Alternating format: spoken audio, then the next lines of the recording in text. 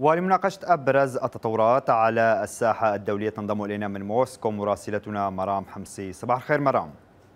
صباح النور إسماعيل. أهلا بك وبالجميع المشاهدين. مرام يعني في تطورات السياسة الدولية قلق أمريكي من التعاون الروسي الصيني في القطب الشمالي ما الجديد في هذا القلق؟ نعم إسماعيل هذه التحذيرات صدرت من وزارة الدفاع الأمريكية أو البنتاغون وقال من خلالها أو قالت نائبة رئيسة نائبة وزيرة الدفاع الأمريكية كاثلين. هيكس أننا لاحظنا أن هناك تعاونا متزايدا بين روسيا والصين وتحديدا في المجال التجاري كون أن الصين دائما تسعى إلى أن تكون ممولة في استخراج الطاقة الروسية في منطقة القطب الشمالي. أيضا تحدثت عن تعاون عسكري ملحوظ وذلك من خلال المناورات المشتركة بين بكين وموسكو عند سواحل ألاسكا وحذرت من هذا التعاون.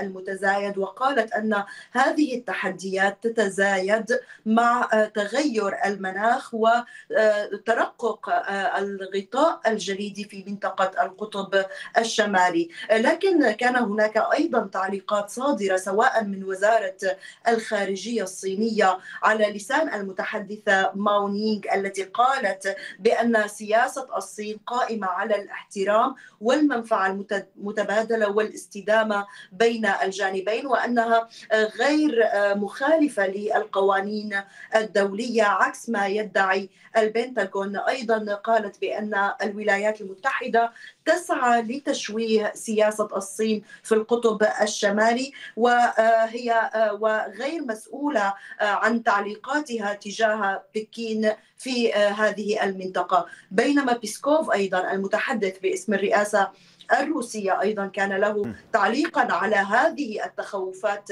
الأمريكية وقال بأن روسيا تتبنى موقفا مسؤولا في منطقة القطب الشمالي وموسكو دائما تسعى إلى إبعاد كافة التوترات والخلافات في تلك المنطقة التي تعتبر استراتيجية بالنسبة لموسكو. لكن بطبيعة الأحوال إسماعيل يعني هناك عدد من النقاط التي يمكن الإشارة إليها من خلال المصالح لكل من هذه الدول الثلاثة الولايات المتحدة ترى أن منطقة القطب الشمالي هي منطقة هامة بسبب وجود بنى تحتية دفاعية أمريكية في هذا القطب. أيضا روسيا تعتبر أن هذه المنطقة يجب أن تعزز بها دفاعاتها العسكرية وذلك من خلال إعادة فتح المطارات وموارد الطاقة الموجودة هناك والتي كانت أساسا متواجدة منذ أيام الاتحاد السوفيتي. أيضا الصين ضخت أموالا كبيرة في مجال الاستكشافات والخبرات والأبحاث القطبية في منطقة القطب الشمالي وبالتالي هي منطقة استراتيجية مهمة ربما قد تعزز الخلافات بين هذه الدول الثلاث كون أنها جميعها تشترك في المصالح التي تحقق سياسة كبيرة وتجارة على الصعيد السياسي والتجاري لجميع هذه الدول. ونحن نعلم أن روسيا أساسا كانت تهدف إلى فتح طريق بحر الشمال لعبور الموارد وليكون صلة الوصل بين أوروبا وآسيا ويكون طريق تجاري جديد يحقق مصالحها. أيضا كان هناك حديث أنه في عام 2030 سيشهد القطب الشمالي ذوبانا كبيرا للثلوج ويصبح خالي من الجليد تقريبا وبالتالي ربما هذا الأمر سيسهل أيضا الحركة التجارية وستصبح المنطقة استراتيجية بامتياز وخاصة لكل من الولايات المتحدة وروسيا والصين. تفضل إسماعيل أعود إليك. مرام إلى موضوع آخر إلى فرنسا لتأمين الأولمبياد تدقق بمجتمعات مهاجرين من جمهوريات سوفيتية سابقة، لماذا هذا الموضوع وماذا تحدثين؟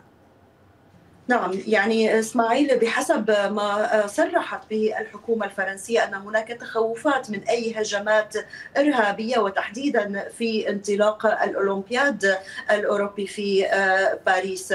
هذه التخوفات أول ما أثارها طبعا هو وزير الداخلية جيرالد دارمان الذي دارمان الذي قال بأنه ربما هناك تعرض لهجمات إرهابية وتحديدا من جماعة جماعة داعش والتابعة لولاية خرسان ويمكن أن يكون هناك هجمات إلا أنه حتى الوقت الحالي لا يوجد أي مؤشرات تؤدي إلى ذلك. وقال أيضا لصحيفة لو بارزيان الفرنسية بأن ولاية خرسان تمثل التهديد الأكبر بلا شك كون أننا شهدنا هذه التهديدات في كل من موسكو وإيران في بداية هذا العام. ولذلك بدأت الأجهزة الأمنية تدقق بالجنسيات التابعة للاتحاد السوفيتي السابق وتحديدا الجنسية الطاجيكية كون أن المنفذين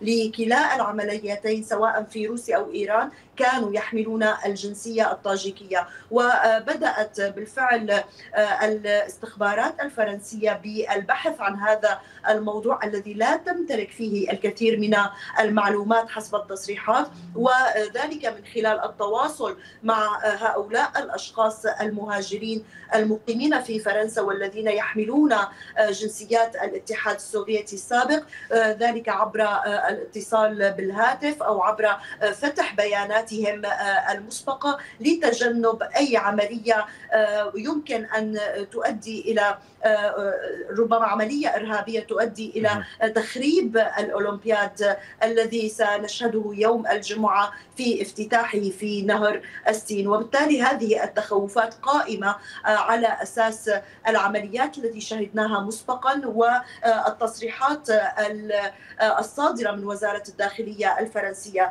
كذلك سيكون حاضرا لهذه الفعاليات بين ملياري وثلاثه مليارات شخص وبالتالي هنا الخطأ الأمني إسماعيل سيكون له عواقب فادحة تحاول فرنسا تجنبها بكافة الطرق وتحديدا بالتركيز على المجموعات التي تعتبر الأكثر خطرا آه، وارهابا وهي مجموعة داعش والتابعة لولاية خرسان التي نشهد فيها نشاطا مؤخرا في الدول الأوروبية أو حتى في آه، كل من إيران وروسيا. تفضل إسماعيل. آه، مرام يعني أمس تناولت وسائل الإعلام والصحف خبرا أو موضوع نتائج عكسية محتملة لانتقادات ترامب سن بايدن ولياقته لو توضحي لنا ذلك هل من معلومات حول هذا الموضوع؟ نعم اسماعيل يعني حتى نحن يوم أمس أشرنا إلى هذا الموضوع وقلنا أن ربما حملة هاريس قد تبدأ من هذه النقطة وتحاول الضغط على ترامب بهذه النقطة وخاصة أنه استخدمها قبل ذلك ضد خصمه الديمقراطي جو بايدن قبل انسحابه من الانتخابات. وما زال أساسا ترامب يتحدث عن أن بايدن بسخرية. طبعا عن أن بايدن ربما يستيقظ يوم غد وينسى أنه انسحب من السباق الانتخابي. وبالتالي اليوم كمالا هاريس نائبة الرئيس والمرشحة الديمقراطية ستكون أكثر يقظة بهذا الموضوع. وربما ستستغل أي ثغرة أو زلة لسان ترامب لتهاجمه من المنطلق ذاته. أيضا كان هناك حديث لبعض الخبراء منه الخبير السياسي ماثيو فوستر الذي أشار إلى أن الديناميكيات في هذه الانتخابات تختلف بشكل كبير وأن هاريس تجلب طاقة مختلفة كون أنها الأصغر سنا في بين المرشحين طبعا بين ترامب وبايدن وسيكون لها تواجدا قويا على الساحة. الانتخابية. لكن أيضا أنصار ترامب كان كانوا يفرضون كلمتهم من خلال التبرير لترامب حول سنه البالغ 78 وقالوا بأن ترامب استطاع الوقوف في الخطاب الانتخابي بعد قبول ترشحه لمدة ساعة ونصف الساعة وبعد عملية الاغتيال أو محاولة عملية الاغتيال التي تعرض لها ودون أن يكون هناك أي خطأ أو زلة لسان لترامب وهذا يثبت قدرته وصحته العقلية والجسدية. بينما طرف آخر رأى بأن ترامب كان متعبا ويتصبب منه العرق في هذا الخطاب. ويمكن أن في حال وصل إلى سدة الحكم في في الولايات المتحدة سيكون أكبر المرشحين سنا وأكبر من يؤدي الدستور الرئاسي كرئيس للولايات المتحدة سنا خلال العقود الماضية. وبالتالي هذا أيضا ربما يعتبر انتقاد مباشر لترامب وخلال فترة ولايته سيصل عمره إلى أكثر من 80 عام وسيكون عرضة لنفس الحجج التي آه، كان يقيمها على بايدن. لكن بطبيعة الأحوال ترامب قال بأنني في حال انتهت صلاحيتي حسب تعبيره سأكون واقفا أمام الشعب الأمريكي وأصرح له بذلك وبالتالي حتى الآن لا يوجد أي نعم. آه، أي ربما شكوك حول آه، قدرته العقلية أو صحته الجسدية نعم. لكن الحملة الانتخابية بعجالة اسماعيل الحملة الانتخابية آه، لهاريس أيضا أشارت إلى أنه شخص في الثامنه والسبعين من عمره ومدان بقضايا جنائية كبيرة وهذا الأمر يجعله أيضا ضعيفا أمامها في السباق الانتخابي وهي طبعا تبلغ من العمر 59 وتعتبر شابة آه، في آه، في آه، هذا السباق الذي سنشهد نتائجه في نوفمبر القادم. تفضل إسماعيل أعود إليك. من موسكو مراسلتنا مرام حمسي جزيل الشكر على هذه المداخلة.